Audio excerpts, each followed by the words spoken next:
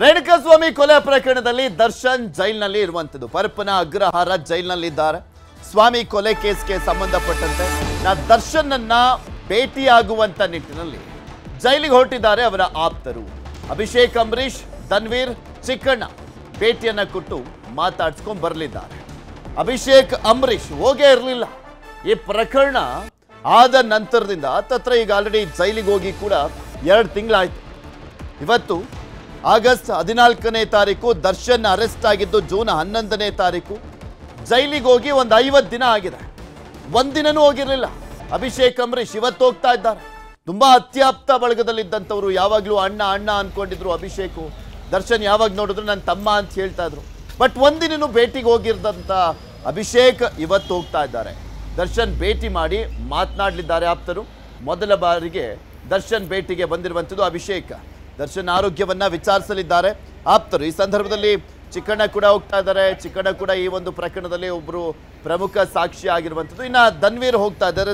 ಈಗ ಆಲ್ರೆಡಿ ಒಂದು ಮೂರ್ನಾಲ್ಕು ಬಾರಿ ಹೋಗಿ ಬಂದಿದ್ರು. ಒಂದು ಎರಡು ಸಲ ಮೀಟ್ ಆಗಿದ್ದಾರೆ ಈ ಸಂದರ್ಭದಲ್ಲಿ. ಇವತ್ತು ಅವರು ಕೂಡ ಹೋಗ್ತಾ ಇದ್ದಾರೆ. ವಾರಕ್ಕೆ ಎರಡು ಬಾರಿ ಅವಕಾಶ ಇರುವಂಥದ್ದು. ಈಗ ಆಲ್ರೆಡಿ ಸೋಮವಾರ ದರ್ಶನ್ ಅವರ ಪತ್ನಿ ವಿಜಯಲಕ್ಷ್ಮಿ ಅವರು ಹೋಗಿ ಭೇಟಿಯಾಗಿದ್ರು. ಈ ವಾರದ ಕೊನೆಯ ಕೋಟಾದಡಿಯಲ್ಲಿ ಹೋಗ್ತಾ ಇದ್ದಾರೆ ಅಭಿಷೇಕ್, ಅಂಬರೀಷ್. ಇದೆಲ್ಲದ್ರ ಬಗ್ಗೆ ಇನ್ನಷ್ಟು ಮಾಹಿತಿಯನ್ನು ಕೊಡ್ತಾ ಹೋಗ್ತಾರೆ ನಮ್ಮ ಪ್ರತಿನಿಧಿ ಚಂದ್ರು ನಮ್ಮ ಜೊತೆ ದೂರವಾಣಿ ಸಂಪರ್ಕದಲ್ಲಿ ಜಾಯ್ನ್ ಆಗಿದ್ದಾರೆ. ಚಂದ್ರು ಈಗ ಆಲ್ರೆಡಿ ಅಭಿಷೇಕ್, ಅಂಬರೀಷ್, ಧನ್ವೀರ್, ಚಿಕ್ಕಣ್ಣ ಎಲ್ಲರೂ ಕೂಡ ಹೊರಟಿದ್ದಾರೆ. ದರ್ಶನ್ ಅವ್ರನ್ನ ಭೇಟಿ ಆಗುವಂತ ನಿಟ್ಟಿನಲ್ಲಿ ಅಲ್ಲಿ ಪರ್ಮಿಷನ್ ಕೇಳಲಾಗಿದೆ. ಈ ವಾರದ ಕೊನೆ ಕೋಟ ಅಂತ ಕಾಣಿಸುತ್ತೆ. ಅವ್ರು ಏನಾದರೂ ಇವತ್ತು ಭೇಟಿ ಆದರೆ ಮತ್ತೆ ಯಾರಿಗೂ ಭೇಟಿಗೆ ಅವಕಾಶ ಇಲ್ಲ. ಹೌದು ಪೃಥ್ವಿ ನಟ ದರ್ಶನ್ ರವರು ಪರಪ್ನಗರ ಜೈಲ್ ಸೇರಿ, ರೇಣುಕಾ ಸ್ವಾಮಿ ಕೊಲೆ ಪ್ರಕರಣದಲ್ಲಿ ಜೈಲ್ ಸೇರಿ ಇವತ್ತಿಗೆ ಬರೋಬ್ಬರಿ ಎರಡು ತಿಂಗಳು ಹತ್ತತ್ರ ಆಗ್ತಾ ಇದೆ. ಸೊ ಇವತ್ತು ಅಭಿಷೇಕ್ ಅಂಬರೀಶ್ ಅವರು ಮೊದಲ ಬಾರಿಗೆ ನಟ ದರ್ಶನ್ ರವ್ರನ್ನ ನೋಡ್ಲಿಕ್ಕೆ ನಟ ಧನ್ವೀರ್ ಮತ್ತು ಚಿಕ್ಕನ ಜೊತೆ ಪರಪ್ನಗರ ಜೈಲ್ ಬಳಿ ಆಗಮಿಸಿದ್ದಾರೆ. ಸೊ ಅವ್ರು ಈಗ ಎಂಟ್ರಿ ಸ್ಪೆಷಲ್ ಎಂಟ್ರಿ ತಗೊಳ್ಲಿಕ್ಕೆ ಕ್ಯೂ ಅಲ್ಲಿ ಕೂಡ ನಿಂತಿದ್ದಾರೆ. ಬಹುತೇಕ ಮಧ್ಯಾಹ್ನದ ಹೊತ್ತಿಗೆ ಅವ್ರು ನಟ ದರ್ಶನ್ ರವ್ರನ್ನ ಭೇಟಿ ಮಾಡ್ತಾರೆ. ಯಾಕಂತ ಹೇಳಿದ್ರೆ ಪ್ರಾರಂಭದಿಂದಲೂ ಕೂಡ ನಟ ದರ್ಶನ್ ರವ್ರನ್ನ ಅಭಿಷೇಕ್ ಅಂಬರೀಶ್ ಮತ್ತು ಅವ್ರ ತಾಯಿ ಸುಮಲತಾ ಭೇಟಿ ಮಾಡ್ತಾರೆ ಅಂತ ಹೇಳಾಗ್ತಾ ಇತ್ತು. ಆದ್ರೆ ಎರಡು ತಿಂಗಳಾದ್ರೂ ಕೂಡ ಅವ್ರು ಸುಳ್ವಿರ್ಲಿಲ್ಲ.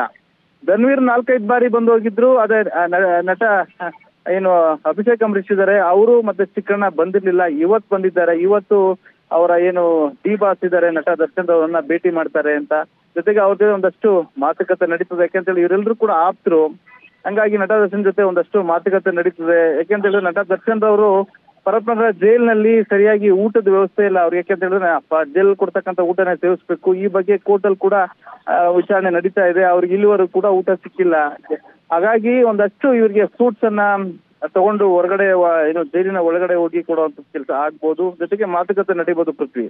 ಇಲ್ಲಿ ಚಂದ್ರಪ್ಪ, ಈ ಚಿಕ್ಕಣ್ಣ ಈ ಪ್ರಕರಣದಲ್ಲಿ ಒಬ್ಬರು ಸಾಕ್ಷಿ ಆಗಿದ್ದಾರೆ ಅವ್ರ ಹತ್ರನೂ ಕೂಡ C R P C one sixty four ಅಡಿಯಲ್ಲಿ ಜಡ್ಜ್ ಮುಂದೆ ಸಾಕ್ಷಿಯಾಗಿ ಪರಿಗಣಿಸಿಕೊಂಡು ಈಗ ಆಲ್ರೆಡಿ ಹೇಳಿಕೆಯನ್ನು ದಾಖಲು ಮಾಡಿಕೊಳ್ಳಲಾಗಿದೆ. ಇವ್ರಿಗೂ ಅವಕಾಶ ಇರುತ್ತಾ? ಇವರು ಹೋಗಿ ದರ್ಶನ್ನ ಭೇಟಿ ಆಗ್ಬೋದಾ? ಪೃಥ್ವಿ, ಒಂದ್ ರೀತಿ ಅದು ವಿವಾದಕ್ಕೆ ಕಾರಣ ಆಗ್ಬೋದು. ಯಾಕೆಂತ ಹೇಳಿದ್ರೆ C R P C one six four ಅಡಿಯಲ್ಲಿ ಜಡ್ಜ್ ಮುಂದೆ ಇವರು ಒಂದು ಸ್ಟೇಟ್ಮೆಂಟ್ ಅನ್ನ ಕೊಟ್ಟಿರ್ತಾರೆ. ಯಾಕೆಂದ್ರೆ ಕೊಲೆ ನಡೆದ ಅವತ್ತು ನೈಟು ನಟ ಚಿಕ್ಕಣ್ಣ ಜೊತೆ ಮತ್ತೆ ನಟ ದರ್ಶನ್ ರವರು ಪಾರ್ಟಿ ಮಾಡಿದ್ರು. ಹಾಗಾಗಿ ಅವರನ್ನು ಕೂಡ ಪೊಲೀಸರು ಕರೆದು ವಿಚಾರಣೆ ಮಾಡಿದ ಜೊತೆಗೆ C R P C one sixty four ಅಡಿಯಲ್ಲಿ ಜಡ್ಜ್ ಮುಂದೆ ಒಂದು ಹೇಳಿಕೆ ಕೂಡ ದಾಖಲು ಮಾಡಿದ್ರು. ಇದೆಲ್ಲ ಒಂದ್ ಕಡೆ ಏನಂತ ಹೇಳಿದ್ರೆ ನಟ ದರ್ಶನ್ ರವರು, ಅಥವಾ ಪ್ರಭಾವ ಬೀರ್ಬೋದಾ? ಅಥವಾ ಇವ್ರು ಏನೇ ಹೇಳಿಕೆ ಕೊಟ್ಟಿದ್ದಾರೆ, ಒಂದಷ್ಟು ಮಾಹಿತಿ ಇವ್ರು ಸಿಗ್ಬೋದಾ? ಮತ್ತೆ ಇದು ತನಿಖೆ ಮೇಲೆ ಏನಾದ್ರು ಪ್ರಭಾವ ಬೀರುವ ಅಂತದ್ದು ಕೂಡ ಆ, ಕೇಳ್ಬಿರ್ತಕ್ಕಂಥ ಒಂದು ಆರೋಪ. ಇದು ವಿವಾದಕ್ಕೂ ಕಾರಣ ಆಗ್ಬೋದು. ಮತ್ತೆ ಜೈಲ್ ಅಧಿಕಾರಿಗಳು ನಟ ಚಿಕ್ಕಣ್ಣ ಅವರಿಗೆ ದರ್ಶನವನ್ನು ಭೇಟಿ ಮಾಡ್ಲಿಕ್ಕೆ ಅವಕಾಶ ಮಾಡಿಕೊಡ್ತಾರಾ ಇಲ್ಲ ಅನ್ನೋದ್ರ ಮೇಲೆ ಈ ಒಂದು ವಿವಾದ ಅಥವಾ ಏನೀಗ ಆರೋಪ ಏನ್ ಕೇಳಿ ಬರ್ತದೆ ಯಾಕಂತ ಹೇಳಿದ್ರೆ ಆತ ಕೂಡ ವಿಟ್ನೆಸ್ ರೀತಿಯಲ್ಲಿ ಪೊಲೀಸರು ಒಂದು ಸ್ಟೇಟ್ಮೆಂಟ್ ಅನ್ನ ಮಾಡಿರುವಂತದ್ದು ಆ, ಯಾಕೆಂತ ಹೇಳಿದ್ರೆ ಕೃತಿ ಕೃತ್ಯ ಆದ ಮೇಲೆ ಚಿಕ್ಕಣ್ಣ ಅವರನ್ನ ನಟ ದರ್ಶನ್ ಭೇಟಿ ಮಾಡಿದರೆ ಪಾರ್ಟಿ ಮಾಡಿದ್ದಾರೆ ಇವ್ರ ಜೊತೆ ಏನಾದ್ರು ಹಂಚ್ಕೊಂಡಿದಾರ ಇವ್ರ ಜೊತೆ ಏನಾದ್ರು ಇವ್ರಿಗೆ ಮೊದಲೇ ಮಾಹಿತಿ ಇತ್ತ?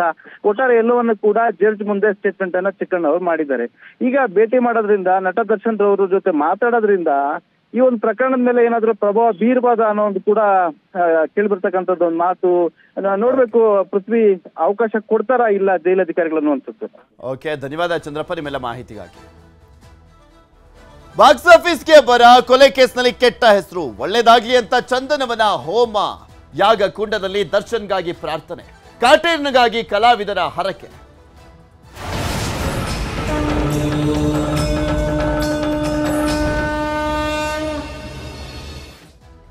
ಸ್ವಾಮಿ ಕೊಲೆ ಕೇಸ್ನಲ್ಲಿ ಕಂಬಿ ಹಿಂದೆ ದರ್ಶನ್ ಇರುವಂತದ್ದು ದರ್ಶನ್ಗಾಗಿ ಕಲಾವಿದರಿಂದ ವಿಶೇಷ ಪೂಜೆ, ಪುರಸ್ಕಾರ, ಹೋಮ, ಹವನ, ಯಜ್ಞ, ಯಾಗಾದಿಗಳನ್ನ ಮಾಡಲಾಗ್ತಾ ಇದೆ. ಕಲಾವಿದರ ಸಂಘದಲ್ಲಿ ನಡೀತಾ ಇರುವಂಥ ಯಜ್ಞ ಯಾಗಾದಿ. ಕಲಾವಿದರಿಂದ ಗಣಹೋಮ ಆಶ್ಲೇಷ ಬಲಿ ಪೂಜೆಯನ್ನು ನೆರವೇರಿಸಲಾಗ್ತಾ ಇದೆ ಚಿತ್ರೋದ್ಯಮದ ಏಳಿಗೆ ಒಂದು ಕಡೆ. ಅದು ನೆಪ ಅಂತ ಕಾಣಿಸ್ತಾ ಇದೆ. ದರ್ಶನ್, ಬೇಗ ಹೊರಗೆ ಬರಲಿ. ಏನು ಸಂಕಷ್ಟದಲ್ಲಿ ಸಿಕ್ಕಾಕೊಂಡಿದ್ದಾರೆ? ಆ ಸಂಕಷ್ಟಗಳೆಲ್ಲವೂ ಕೂಡ ನಿವಾರಣೆ ಆಗಲಿ ಅನ್ನುವಂತಹ ಒಂದು ಬೇಡಿಕೆನೇ ಇಲ್ಲಿ ಪ್ರಮುಖವಾಗಿ ಇರುವಂಥದ್ದು ನಟ ದರ್ಶನ್ಗಾಗಿ ಮೃತ್ಯುಂಜಯ ಹೋಮವನ್ನು ಕೂಡ ಮಾಡಲಾಗ್ತಾ ಇದೆ ನಟ ದೊಡ್ಡಣ್ಣ ದಂಪತಿಯಿಂದ ವಿಶೇಷ ಹೋಮ ಅವನ ಮಾಡಿಸಲಾಗ್ತಾ ಇರುವಂಥದ್ದು. ಇದರಲ್ಲಿ ಪ್ರಮುಖವಾಗಿ ರಾಕ್ಲೇನ್ ವೆಂಕಟೇಶ್ ಮತ್ತು ದೊಡ್ಡಣ್ಣ ಅವರ ನೇತೃತ್ವದಲ್ಲಿ ನಡೆಸಲಾಗ್ತಾ ಇರುವಂಥ ಹೋಮ ಹವನಗಳು ಇದು. ಪೂಜೆಗೆ ಬಂದಂಥ ನೆನಪಿರಲಿ ಪ್ರೇಮ್ ದಂಪತಿ, ಕಲಾವಿದರ ಪೂಜೆಗೆ ಬಂದಿರುವಂಥದ್ದು ಅಭಿಷೇಕ್ ಅಂಬರೀಶ್ ಕೂಡ, ಉಡುಪಿಯ ಪ್ರಕಾಶ್ ಅಮ್ಮಣ್ಣಯ್ಯ ನೇತೃತ್ವದಲ್ಲಿ ಈ ಪೂಜೆಯನ್ನು ನೆರವೇರಿಸಲಾಗ್ತಾ ಇದೆ ಹಿರಿಯ ನಟಿ ಸರೋಜಾ ದೇವಿ ಸಲಹೆಯಂತೆ ಹೋಮ ಹವನವನ್ನು ಮಾಡಿಸಲಾಗ್ತಾ ಇದೆ ಗುರುಕಿರಣ್ ಅವರು ಬಂದಿದ್ದರು ಹಾಗೆ ಗಿರ್ಜಾ ಲೋಕೇಶ್ ಅವರು ಬಂದಿದ್ದರು ರಾಕ್ಲೇನ್ ವೆಂಕಟೇಶ್ ಅವರಿದ್ದಾರೆ. ಈ ರೀತಿಯಾಗಿ ಸಾಕಷ್ಟು ಜನ ನಟರು, ನಟಿಯರು ಬಂದು ಹೋಗ್ತಾ ಇದ್ದಾರೆ, ಪೂಜೆಯಲ್ಲಿ ಭಾಗಿಯಾಗ್ತಾ ಇದ್ದಾರೆ. ನಟಿ ಪದ್ಮಜ ಅವರು ಮಾತನಾಡಿದ್ದಾರೆ. ಈ ಒಂದು ಹೋಮ ಹವನದಲ್ಲಿ ಭಾಗಿಯಾದ ಬಳಿಕ. ಅವ್ರು ಏನು ಹೇಳಿದ್ರು? ಕೇಳೋಣ. ರಂಗದ ಒಳಿತಿಗಾಗಿ ಕಲಾವಿದರ ಸಂಘದಲ್ಲಿ ವಿಶೇಷವಾದಂತಹ ಪೂಜೆ ಈಗಾಗಲೇ ಶುರುವಾಗಿದೆ. ಇನ್ನು ಪೂಜೆಗೆ ಆರತಿ ಬೆಳಗುವ ಮುಖಾಂತರ ಚಾಲನೆ ಕೊಟ್ಟಂತಹ ನಟಿ, ಹಿರಿಯ ನಟಿಯರು ಆದಂತಹ ಪದ್ಮಜರಾವ್ ಅವರು ನಮ್ಮ ಜೊತೆಲಿದ್ದಾರೆ ಇವತ್ತಿನ ಪೂಜೆ ಬಗ್ಗೆ, ಇವತ್ತಿನ ವಿಶೇಷತೆ ಬಗ್ಗೆ ಏನು ಹೇಳ್ತಾರೆ ಅವ್ರನ್ನ ಮಾತಾಡ್ತಾ ಹೋಗೋಣ ಮೇಡಮ್, ನಿಜವಾಗ್ಲೂ ಒಂದು ಹದಿನೈದು, ಹದಿನಾರು ವರ್ಷಗಳಿಂದ ಕಲಾವಿದರ ಸಂಘ ಇದೆಯಾ ಇಲ್ವೋ ಅನ್ನುವಂತಹ ಅನುಮಾನ ಎಲ್ರಿಗೂ ಕಾಡ್ತಿತ್ತು. ಇವತ್ತು ಒಂದು ಪೂಜೆ ಮುಖಾಂತರ ರಿಯಾಕ್ಟಿವ್ ಆಗಿದೆ ಅನ್ಬೋದು. ಇವತ್ತಿನ ಪೂಜೆ ಬಗ್ಗೆ ಏನು ಹೇಳ್ತೀರಾ? ಒಂದಿಷ್ಟು ವರ್ಷ ನಮ್ಮ ಕನ್ನಡ ಇಂಡಸ್ಟ್ರಿ ತುಂಬಾ ಕೆಳಗೋಗಿತ್ತು. ನಮಗೇನು ಒಂದು ಸಕ್ಸಸ್ ಇಲ್ಲ ಇದನ್ನ ನಾನು ಒಪ್ಪೋದಿಲ್ಲ.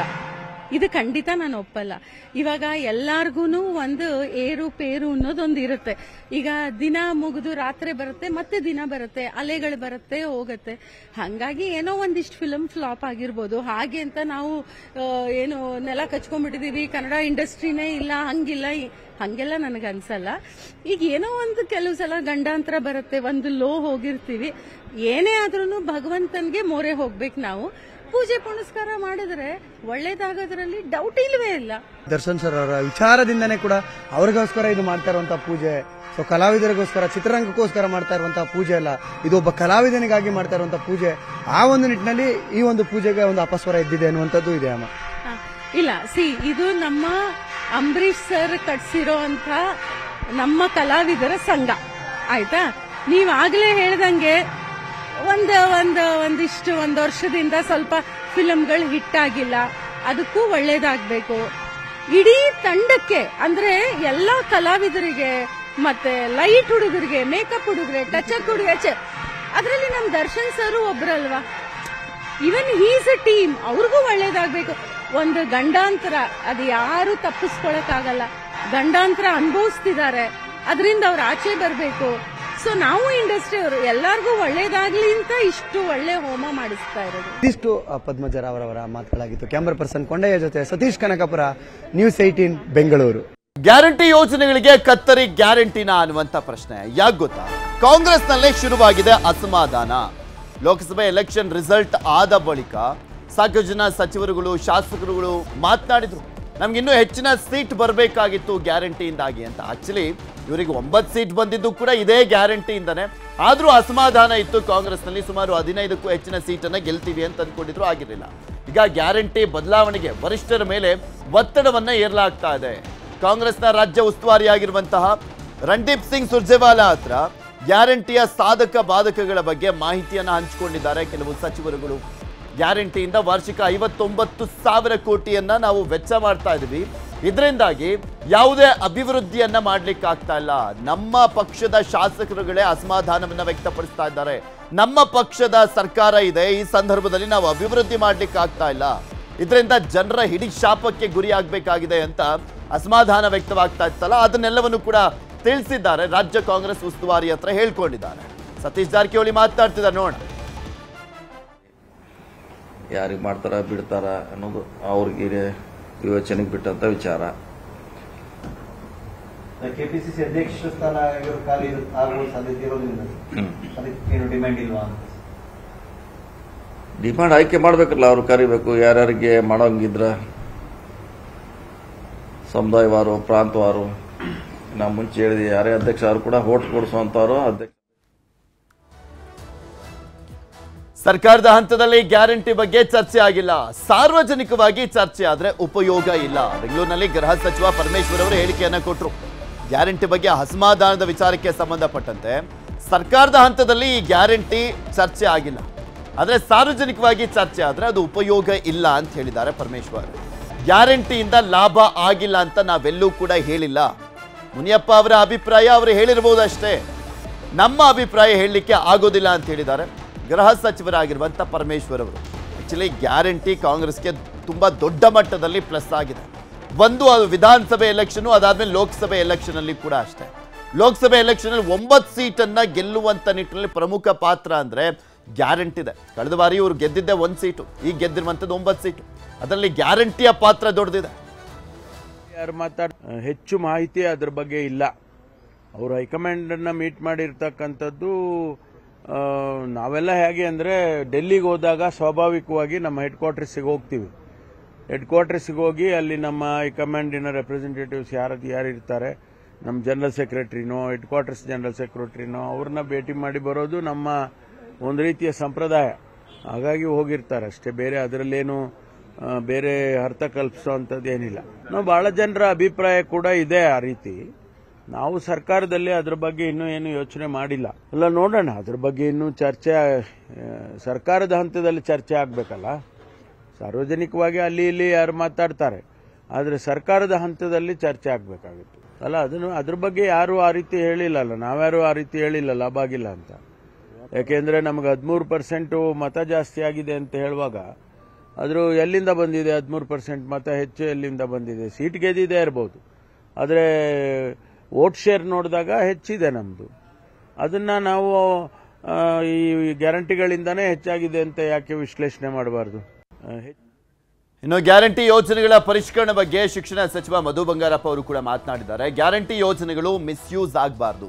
ಕೆಲವರು ಎರಡರಿಂದ ಮೂರು ಕಡೆ ಅನುಕೂಲ ಪಡಿತಾ ಇದ್ದಾರೆ. ಈ ರೀತಿ ಮಿಸ್ಯೂಸ್ ಆಗಬಾರ್ದು ಅಂತ ಹೇಳಿದ್ದಾರೆ. ಪರಿಷ್ಕರಣೆ ಬಗ್ಗೆ ಸಚಿವರು ಮಾತನಾಡಿದರೆ ಅದು ಅವರ ವೈಯಕ್ತಿಕ. ಏನೇ ತೀರ್ಮಾನ ಮಾಡಿದರೂ ಕೂಡ ನಮ್ಮ ಸರ್ಕಾರ ಮಾಡುತ್ತೆ ಅಂತ ಮಧು ಬಂಗಾರಪ್ಪ ಅವರು ತಮ್ಮ ಅಭಿಪ್ರಾಯವನ್ನು ವ್ಯಕ್ತಪಡಿಸಿದರು. ಪಿ ಎಲ್ಲು ಎ ಪಿ ಎಲ್ ಕಾರ್ಡ್ಸು ಇದೆಲ್ಲ ಇದೆ. ಮುಂಚೆ ಎಲ್ಲ ನೀವು ಕೂಡ ಬೇಕಾದಷ್ಟು ಇದನ್ನ ಹಾಕಿದ್ರಿ ಸಾಹುಕಾರರಿಗೆಲ್ಲ ಇವರು ಬಿ ಪಿ ಎಲ್ ಕಾರ್ಡ್ ಕೊಟ್ಟಿದ್ದಾರೆ ನಿಮ್ಮ ಮಾತು. ಅದೇನಾಗ್ತದೆ ಸರ್ಕಾರಕ್ಕೆ ಕೆಟ್ಟ ಯಾರಿಗೆ ಅನುಕೂಲ ಇದ್ದಾಗ ಅವರಿಗೆ ಒಂದು ಸರ್ಕಾರದ ಸವಲತ್ತು ಅನ್ವಯ ಆಗೋದಿಲ್ಲ ಅಂತ ಹೇಳಿದ್ರೆ ಅದು ಸರ್ಕಾರದ ತೀರ್ಮಾನಕ್ಕೆ ಬಿಡ್ತೀನಿ. ನಾನು ಅದು ವಿರುದ್ಧ ಅಂತ ಹೇಳಲ್ಲ. ಯಾಕೆಂದ್ರೆ ನಾನೊಬ್ಬ ಪ್ರಣಾಳಿಕೆಯ ಒಬ್ಬ ಉಪಾಧ್ಯಕ್ಷನಾಗಿ ನಾವೇನಂತ ಕಮಿಟ್ಮೆಂಟ್ ಕೊಟ್ಟಿದ್ದೀವಿ ಅದನ್ನ ಆನರ್ ಮಾಡಿದ್ದೀವಿ ಅದೇನಾದರೂ ಬಡವರಿಗಲ್ಲದೆ ಏನಾದ್ರು ಮಿಸ್ಯೂಸ್ ಆಗ್ತಾ ಇದೆ ಅಂತ ಹೇಳಿದರೆ ಅದನ್ನ ಸರ್ಕಾರದ ಮಟ್ಟದಲ್ಲಿ ಒಳ್ಳೆ ತೀರ್ಮಾನವನ್ನು ಇನ್ನು ಬಡವರಿಗೆ ಯೋಜನೆ ಸಿಗುವಂತಾಗಬೇಕು, ಅದನ್ನ ಸರಿಪಡಿಸುವಂತದ್ರ ಬಗ್ಗೆ ಚರ್ಚೆ ನಡೆದಿದೆ. ಯಾವುದೇ ಕಾರಣಕ್ಕೂ ಗ್ಯಾರಂಟಿ ಯೋಜನೆಗಳನ್ನ ನಿಲ್ಲಿಸೋದಿಲ್ಲ ಅಂತ ಸಚಿವ ಪ್ರಿಯಾಂಕರ್ಗೆ ಹೇಳಿದ್ದಾರೆ. ಮಾನ್ಯ ಮುಖ್ಯಮಂತ್ರಿಗಳು C D C C O meeting ಮಾಡಬೇಕಾದ್ರೆ ನೀತಿ ಆಯೋಗದ ಒಂದು ರಿಪೋರ್ಟ್ ಇತ್ತು. ನಮ್ಮದು ಒಂದು ರಿಪೋರ್ಟ್ ಇತ್ತು.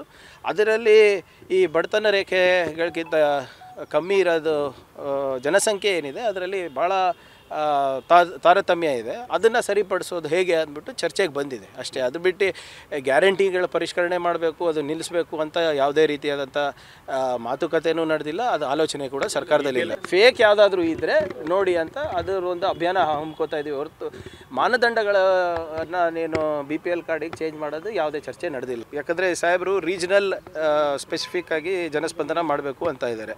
ಅದಕ್ಕೋಸ್ಕರ ನಾನು ಮನವಿ ಮಾಡ್ಕೊಂಡಿದ್ದೀನಿ ಮುಖ್ಯಮಂತ್ರಿಗಳಿಗೆ. ಎಲ್ಲ ಶಾಸಕರ ಜೊತೆ ಒಂದು ಮೀಟಿಂಗ್ ಮಾಡಿ ನಮ್ಮ ಭಾಗದ ಶಾಸಕರಿಗೆ.